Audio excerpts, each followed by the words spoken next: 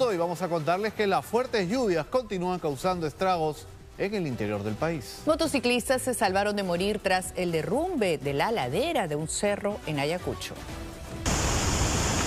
Bien, todo eso se viene, todo eso se viene. Todo. ¡Eh! ¡Retírense!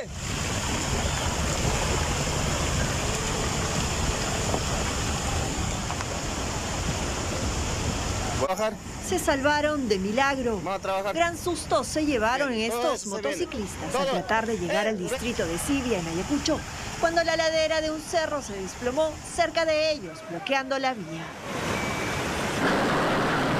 En el lugar ya se encontraba maquinaria pesada realizando labores de limpieza, producto de otros huaicos que bloquearon la ruta de acceso al Brae.